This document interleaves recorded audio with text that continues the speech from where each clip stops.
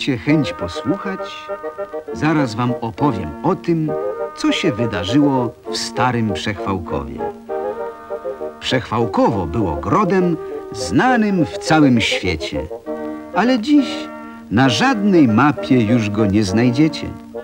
Gród ten bowiem zmienił nazwę. A dlaczego? Właśnie w opowieści tej dokładnie rzecz całą wyjaśnię. Dnia pewnego piekarz Kminek wybrał się na miejski rynek z pełnym koszem bułek świeżych, wypieczonych jak należy. A na rynku gwarno, tłumnie kupiec woła Tylko u mnie znajdziesz towar pierwszej klasy. Mam jedwabie, jatłasy i brokatów pełne półki. Piekarz sprzedał swoje bułki i już wracać miał do domu, gdy usłyszał okrzyk. Komu, komu piękny kołnierz z bobra? Kołnierz z bobra to rzecz dobra. Mam i z lisów dwie etole, których nie ruszyły mole. A kto woli od etoli piękne futro mieć soboli, niech sakiewką tu pozwoli. Futro leży tak jak ulą, godne jest samego króla. Można kupić i nie mierzyć, bo nie darmo wśród kuśnierzy mnie pierwszeństwo się należy. A szewc na to. Co tam futra? Będziesz z nimi stał do jutra. A ja długo nie postoję. Każdy chce mieć buty moje.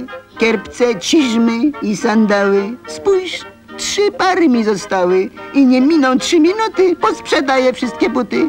Niepotrzebna mi reklama. Za mnie praca, mówi sama, że lepszego w całym świecie majstra nigdzie nie znajdziecie. Tu rzekł Kminek.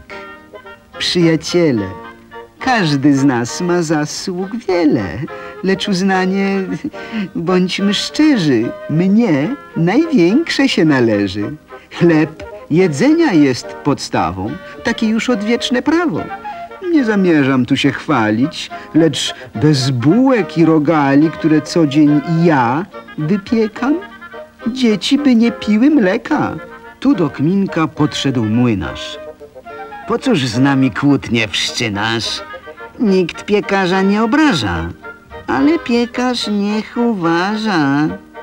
Bo przyznacie, przyjaciele, z tym, co w młynie mąkę miele, o pierwszeństwo walczyć trudno. Przerwij mowę swą obłudną, krzyknął rolnik. To przesada. Istne bzdury opowiadasz. Śmiech serdeczny mnie ogarnął. Przecież ja ci daję ziarno. Z tego jasno już wynika, żeś mniej ważny od rolnika. Na to rycerz. Puste słowa. Nie ma sensu ta rozmowa. Ja się chwalić nie zamierzam. Ważniejszego od rycerza, bądźcie pewni, w całym świecie i ze świecą nie znajdziecie.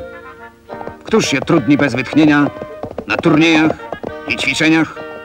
Któż to ostrzem swego miecza pracy innych zabezpiecza? Gdy wróg wtargnie przez granicę, któż do walki staje? Rycerz. Wtedy kowal huknął basem. Słyszę tu przechwałek masę. Każdy siebie tu wychwala, a nikt nie dba o kowala.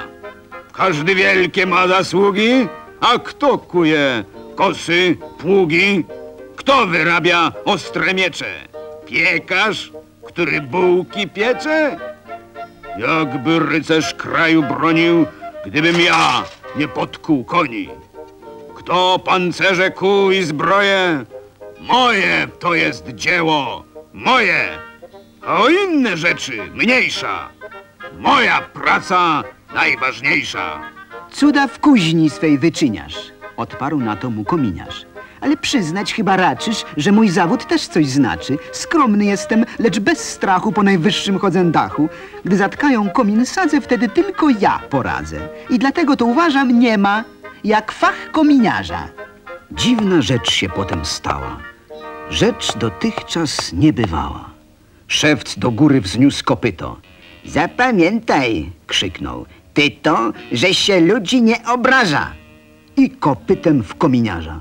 Drwal miał z sobą wór, w nim wióry, więc te wióry wzniósł do góry i w obronie kominiarza zamiast w szewca, bęc w piekarza.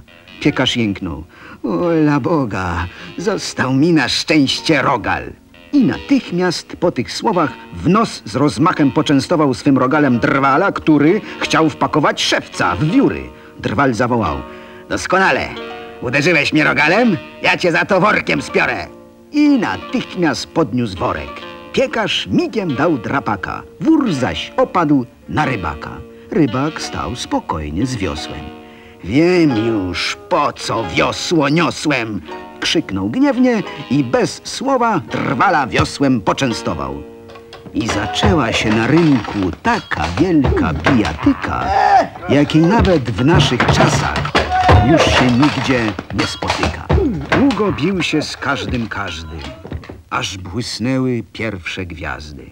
Wtedy poszli do swych domów, wykrzykując, że nikomu nikt już w niczym nie pomoże, choćby działo się najgorzej. Od dnia tego pamiętnego zaszło w kraju wiele złego i nastała taka bieda, że się jej opisać nie da. Rolnik przestał orać ziemię, bo o kamień stępił lemierz. Rycerz chodził jakby struty, zrobił sobie ciasne buty. Kowal męczył się zajadle, klepiąc bułki na kowadle. Kucharz Gaweł, sprytny wielce, ryby łowić chciał widelcem. Choć uwijał się wspaniale, wbił widelec sobie w palec. Widząc skutki łowów takie, zaczął łowić je hamakiem. Lecz mu nie szło tak dalece, że utopił hamak w rzece. A kominiarz miał w komorze pełniuteńki wór ze zbożem. Los dla niego był łaskawy, bo i młynek miał do kawy. Więc się cieszył, że w niedzielę całe zboże w młynku zmiele. Pół dnia kręcił suche ziarna, wyszła mąka, ale czarna. Więc zawołał, nie poradzę, zamiast mąki widzę sadzę.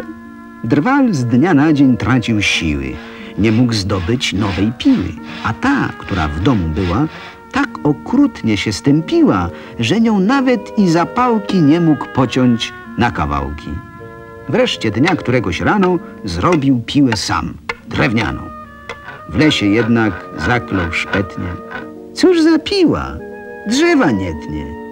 W owych czasach w Przechwałkowie każdy miał kłopotów mrowie. Lecz najbardziej cierpiał młynarz, bo wpadł głową do komina. Każdy dzień przynosił troski i kłopoty same, aż dotarły o nich wieści na książęcy zamek. Dzielny władca Przechwałkowa lud swój kochał szczerze. Szanowali go jednako drwale i rycerze. Mądry był i swej ojczyźnie służył niestrudzenie.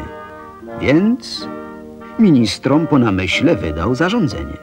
W głębi lasu, na polanie, tam gdzie jest jezioro, wszyscy ludzie dobrej woli rankiem niech się zbiorą. Oto świt już. Wieża zamku lśni jak igła srebrna. A tymczasem na polanie wielki tłum się zebrał. W tłumie cisza. Każdy milczy. Nie puszcza z ust pary, tak, że słychać jak nad wodą bzykają komary. Nagle ciszę głos przerywa. To książęce słowo. Każda z prac jest równie ważna. Ważna jednakowo. Czas więc skończyć z przechwałkami. Niech nastanie zgoda. Niech na zgodę sąsiadowi sąsiad rękę poda. A nasz gród, przezwany niegdyś starym przechwałkowem, zgodnym, niech się zwie od dzisiaj, godnym nazwy nowej. Mądre słowa swego króla ludzie w lot pojęli i natychmiast na polanie godzić się zaczęli. Kminek ściskał kominiarza, Marcin Kołek drwala, szewc rycerza, tkacz kucharza, a rolnik kowala. Zgoda! Zgoda! Zawołali. Zgody nam potrzeba, bo bez zgody nie ma w kraju ni pieśni, ni chleba.